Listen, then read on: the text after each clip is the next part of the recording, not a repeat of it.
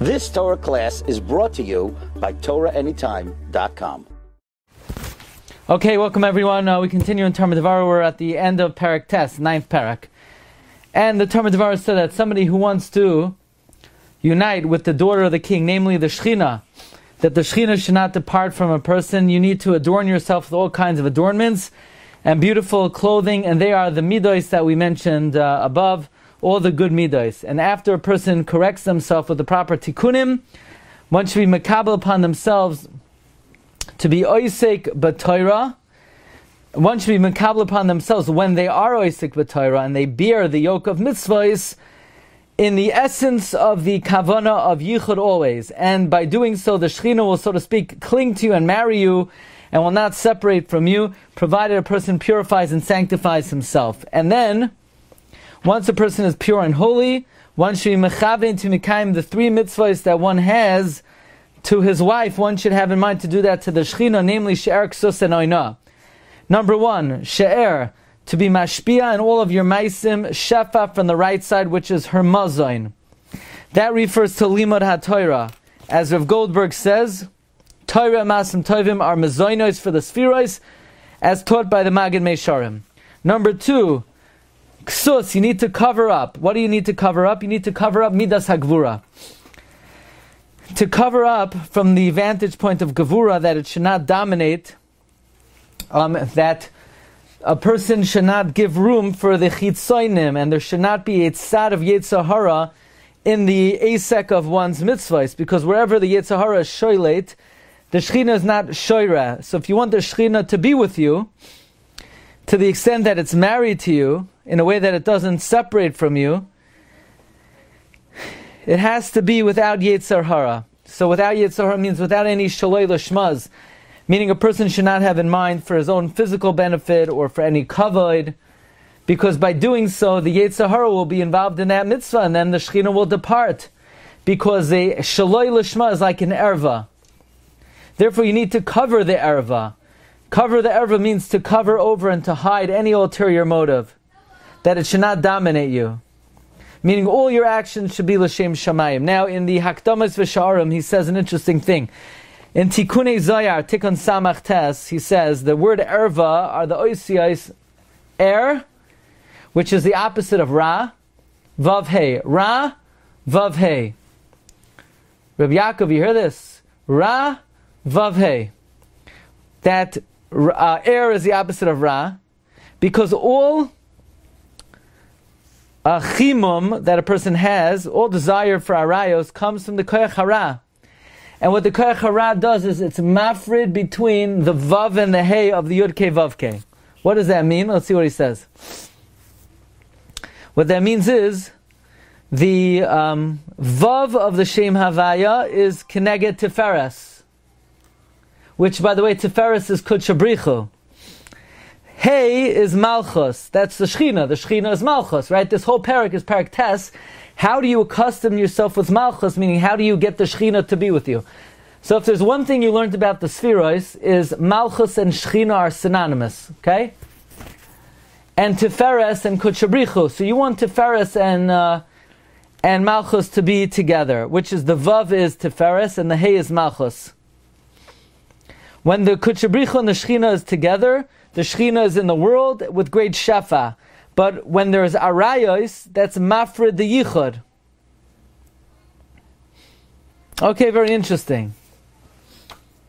Um, also, the the verse says, Tefillin and Tzitzis also is a great mugain and shield and cover that the Chitzonim do not rule over us, via Bahem, and um, a person will be uh, um, a freak, one should accustom himself always to wear talis and tefillin.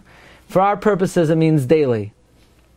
Okay, let's see the, the third and final way that uh, one, one has to fulfill his obligation to the nekeva, namely shchina. We did share, we did ksus, and we did oina. This is very interesting. Um, when when uh, I was in London for Shabbos, I davened by Rabbi Ilan Halberstadt. So he said over for Moshe Shapiro, "What's the inyan of being koiveya itim la Torah? What's the In other words, I'll learn whenever I have a free moment. But what's the concept of setting fixed times for Torah study? So he said that um, when Klal Yisrael were Makabel the Torah, we said Naaseh V'nishma, we accepted it willingly. But Hashem said, no, that's not good enough. It's not good enough to learn Torah when it's good for you. I'm still going to shove it down your throats. I'm still going to force you into it. It's still going to be kaf kagigas. As the Maharal explains, because if we only accepted the Torah because we willingly accepted it, then you would think Torah is like a ice cream cone. That, uh, you know why I learned? Because it's good for me, and when I don't think it's good for me, then I won't. No, we have to know the Torah is what gives life to the whole universe. If without the Torah, the world would cease to exist. So Hashem says, I can't allow you to think that the, the Torah could be discretionary. The Torah has to be coerced because otherwise the universe cannot exist. The concept of being koivea itim the Torah is to recognize it's not enough to learn. It's not enough to learn when you want to, but what you need to do is um, you need to learn even if you don't want to. That's the concept of being koivea itim la But we're about to learn in the Tomer Devorah another inyan of being koivea itim. You ready for this?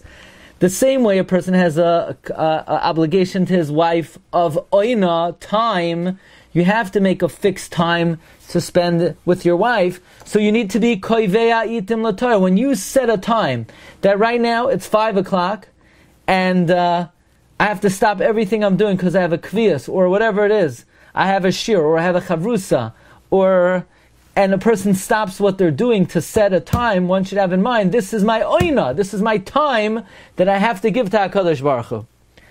Liyachta ima teferes. You want to unite the Shechina with teferes, which we said teferes is kudshabrichu and the um, and Malchus is Shechina. So when do we give time to to Fares? Be'oinas kriyashma. The time of Shema. Shema is a very specific time in the morning and the night. Bikviyas itim la Torah. When we set times for Torah, let's say for tonight, 8.30 tonight, if you want to join the Shir, that's a fixed time. Even if we don't start 8.30, you still come on 8.30. We'll be right with you as soon as we get everything together. But the time is 8.30. Whenever you set a time for HaKadosh Baruch Hu, that is the, you should have in mind, that's the oina, that's, the, the Shechina is your Nikeva, you have to give her oina, that is the fixed times you get. Yechavin Shazel oinas hashchina bas this is the fixed time of the Shechina, who is the daughter of the king, v'yesh remez lazava tikunim, and there is a remez to this in the Tikunei Zohar. So now we're going to have what we call the executive recap of um, Parak Tes, courtesy of Rav Nassan Weldler. Thank you very much for this recap. And um, let's start. How does one accord oneself with Malchus? Um, Malchus is compared to the moon.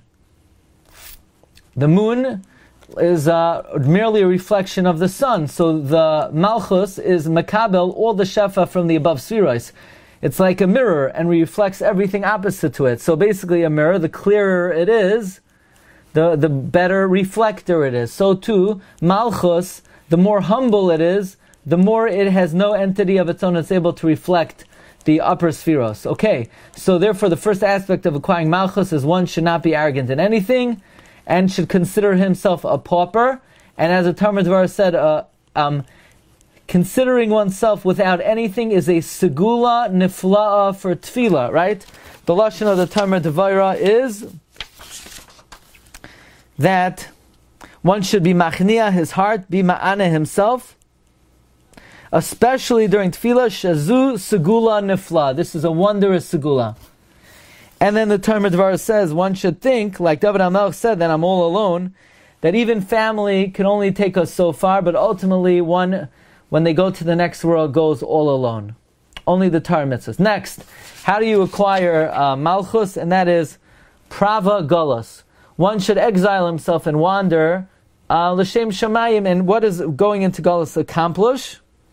Now, the term of the verse says one should do this because uh, to emulate HaKadosh Baruch Hu, who is, who is in Galus, and Rebbe is in Galus without any of his kalim, and without any of his vessels and his ornaments. So one should um, go into Galus. And we explained from a number of Svarim, quoting Rabbi Reisman's book, the, the, um, the milos of Golos and what Golos accomplishes. A, you have faith in Hashem, you're able to subdue one's anger, and you emulate HaKadosh Baruch Hu. So anytime you find yourself in an uncomfortable situation, let's say you travel far away and it's a really long and t- boring shear, so you should have in mind you're in Golos, and uh, and or you have to go to the DMV, or you have to go to Great Adventures, Nabach on Chalamoid, if you allowed your children to coerce you into that uh, very grave situation. So have in mind that even though you're about to wait online to be shaken up and have your innards be dislocated, nevertheless, this is part of going into Galus. Okay, then the next part of Malchus is Yira Shamayim, which is a gateway of all Avodah, and that is to fear HaKadosh Baruch Hu, and one should fear Hashem himself and not any external forces, because when one uh, fears external forces, one is empowering them. So, what are the ways to fear Hashem? Number one,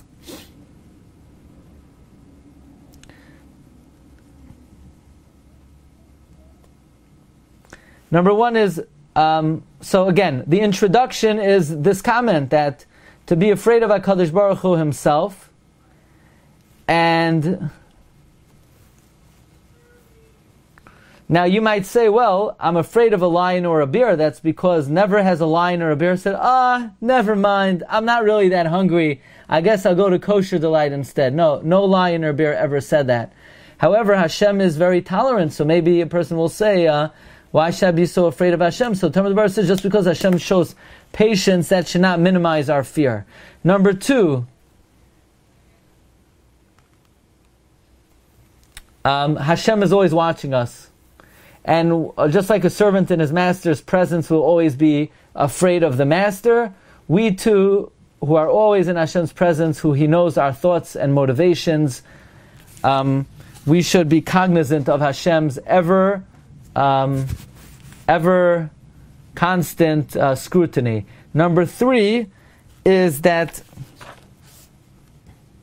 Hashem is the root of all souls, and all the souls are rooted in the spheroid. So when a person sins, he's actually sullying God's palace, and that should cause a person to fear acting improperly. And finally, number four, that one should realize that um, through one's improper actions, they, he pushes away the Shechina, and he could cause great evil to uh, separate between Kudshabrichu and the Shechina, and one should be afraid of bringing this about. And finally, um, another way one should ensure that Malchus is always with him is one should uh, make sure that the Shechina clings to him by being together with his wife, by being married that without a isha, a person not an adam shalem, and therefore a person is always situated between two nekevos. The lower one is physical, so the the upper nekeva shechina supplies to you, so that you could supply to your wife. So we know you have to give your wife um, food and clothing and marital obligations. So too, the two nekevos are up in Shemayim, Bina and Malchus. Okay, now, there, we said there three times a person's not uh, with his wife when she's a nida, or during the week during limud Torah, or someone's on the road. So th- during those times, the shechina is tied to a person, and the way do you ensure that is by um, learning Torah, the Tomer Devorah said, and also by saying Tefilas Haderech. Those two ingredients ensure that when you're on the road, the Shekhinah is always with you. Now, if you want to be davik to the Shechina and make sure the Shechina doesn't leave, you have to adorn yourself with the nice clothing of good midas and limud Torah and accepting the yoke of mitzvahs. And one should bestow upon the Shechina the three obligations. She'er is Torah, ksus to cover up midas hagvura, which is to do things uh, purely, not for ulterior motive, and oina are the designated times that you give for Hakadosh Baruch Hu. And then B'ezras Hashem tomorrow we begin the final parak of Tomer Devaira, and that is um, parak Asiri, which we will see what parak Asiri discusses. Rabbi until then, have a great day. Yaakov. You've just experienced another Torah class brought to you by TorahAnytime.com.